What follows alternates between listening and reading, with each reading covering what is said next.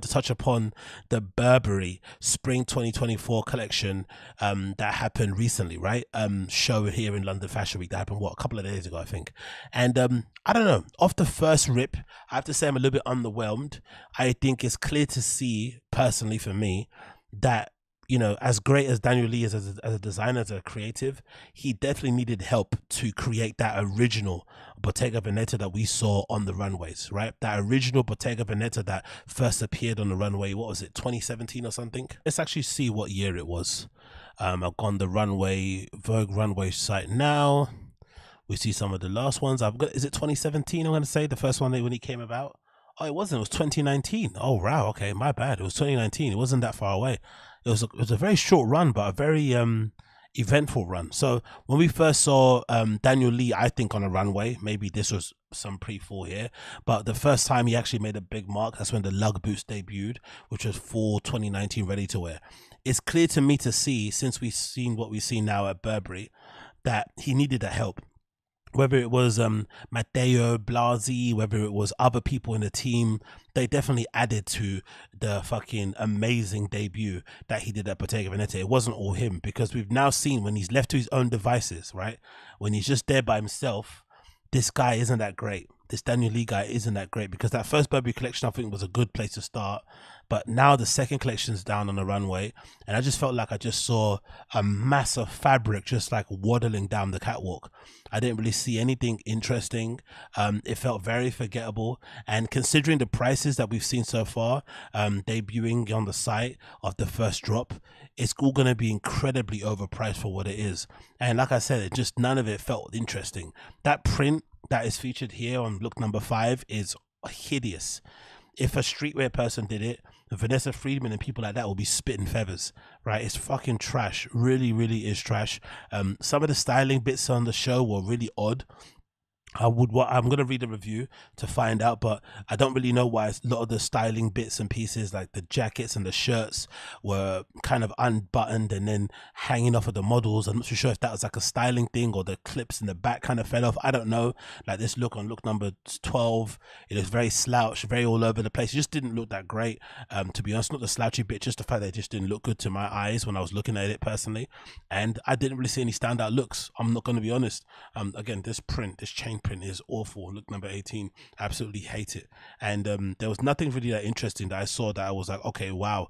Um, or maybe a standout piece that I think everybody's going to be gagging over. Maybe some bags, maybe the shades. I don't really know, but very, very forgettable. And if I think if anything, like this look number 29, come on, man, that could be easily Zara.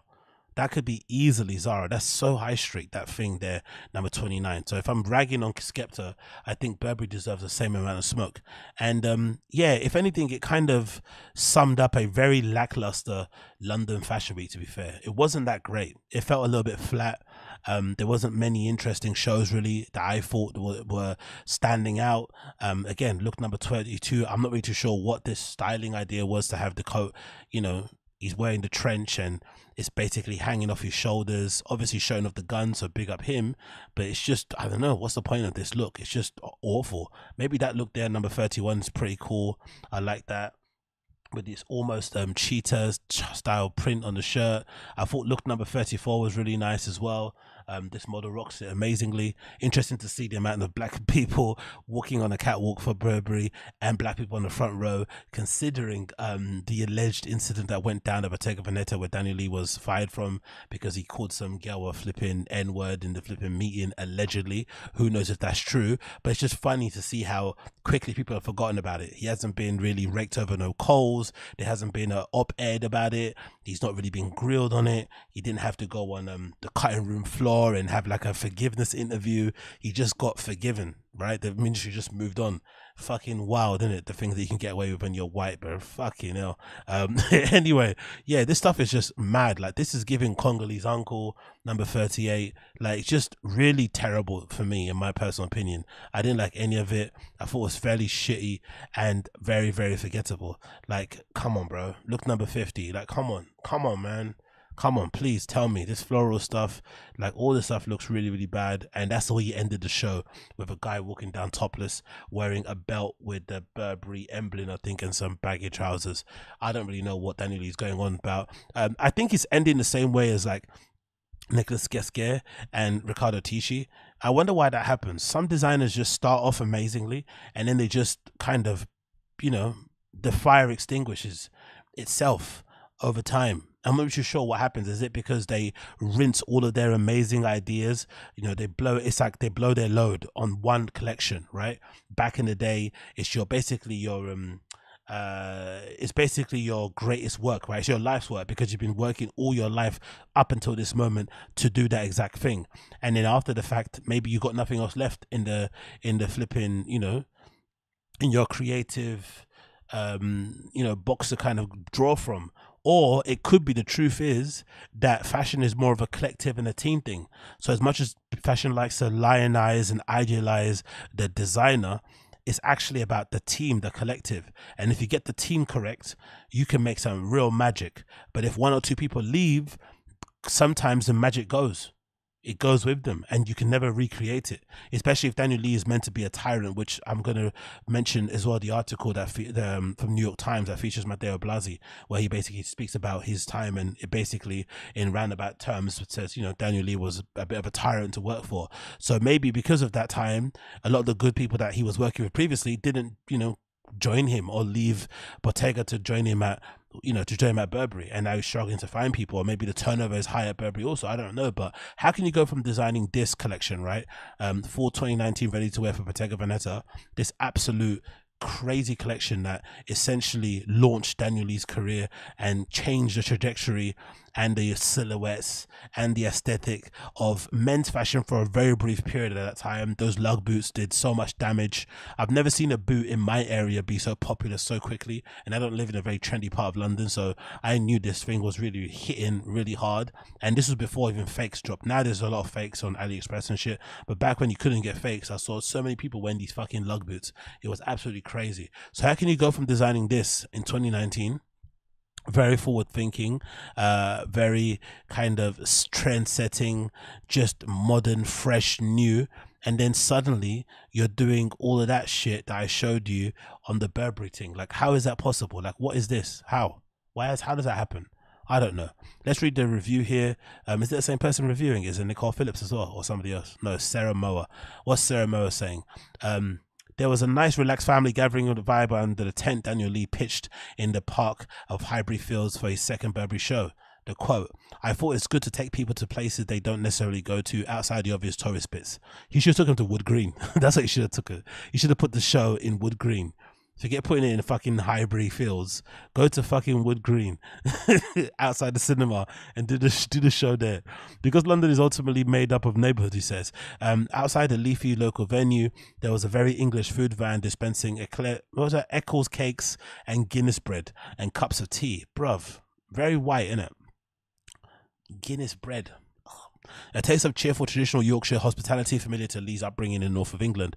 Inside there was a green park benches, quilted green horse blankets and camping bottles, and friendly um, convergence of kind of guests who make a multicultural London and Britain what they are.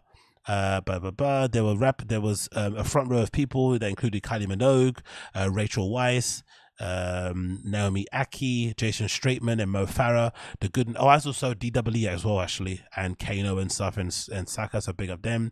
Instead, they were sitting down, chatting, smiling, and waving, um, setting the tone, personality, and a tone of subliminal messages for the British behemoth of fashion. Global uh, of a global fashion is what Lee has been working on. Given the fashion itself its clear and relevant point of view, and was obviously a crux of it, clarity and crispness are the first impressions. We're in a kind of frame of mind of not messing around with a trend French.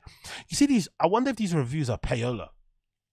I read these reviews and they always feel like press releases. Like, what's her opinion on the show? Like, why is she telling us how he felt, what the fucking temperature was, the look of his lips? Like, what's going on here? So, in place of last season's um, enveloping wintry blanket coats. Here were lean, knee length, low belted silhouettes for city life with precisely judged asymmetric lapels and minimal epaulets applied across women's wear and men's wear. That just sounds like fabric to me. Sounds like fabric. It sounds like buying fabric, cutting it, and draping it. That sounds like horrendous to me. Um, who wants to be in city life with all these fucking bits of fabric flying all over you that are gonna get caught on lampposts, caught on fucking bike locks, caught on bike handlebars, caught on fucking prams. London is a big city, but it's also very, very cramped. So those big shapes and shit aren't the greatest to maneuver around the city. But hey, what do I know? They march very much in sync with the emerging post maximalist feeling uh, for chic and easy clothes, the same feeling carried through into the men's tailoring, double breasted two piece tonic suits. Lee's overhaul of Burberry branding is impressively smart and increasingly pervasive. Okay, she thinks it's smart and pervasive work in progress. In a luxury market oversaturated logos, she's taking the opposite tack. So you're you're you're talking about oversaturated logos, but then you're endorsing this shitty chain thing. Come on, bro. Come on. This stinks like payola. Um, it started with his taking apart the Burberry Prorsum Knight on the horseback logo, what looked like bourgeoisie ladylike scarf prints on dresses, and men's shirts and coats are usually a com- are actually composed of images of metal carabiner clips in the shape of a knight's horse. Lame. So those so that print is actually a carabiner that's been made into a shape of a horse. Let's see if they got details of this shit because this looks. I don't give a fuck. Okay, no details, so no one cares. Uh, what the hell? Okay, cool. Um, soon people will be reading Burberry whenever they see them. I don't. I just see chain mail um, all over print that you see in streetwear. The same thing these fucking editors hate and say should be taken out of fashion because they want to return to tailoring, which means a return to the whiteys, basically. That's a dog whistle. That is the real dog whistle. We want to return to tailoring. Yeah, you want the blacks to get out the front row, innit? You don't want the jamba smoking marijuana, you know, fucking, you know, fans of whatever to be in the front row, right? You don't want them sitting there in their grills with their big chains and their big booty women's. um, Lee had moments, it says here, dedicated to English summer flowers and fruit, um, cascading swarms of blue strawberries, blue blown up meadow floor prints, meadow flower prints. Sorry, because it's definitely about taking wardrobe codes, subverting them, and making them feel more like London. With a said it was smile. Well, he said it was smile because he's caking and he's having a good life. But this collection was pretty garbage, pretty boring, pretty uneventful, and um, yeah, definitely not moving them a needle.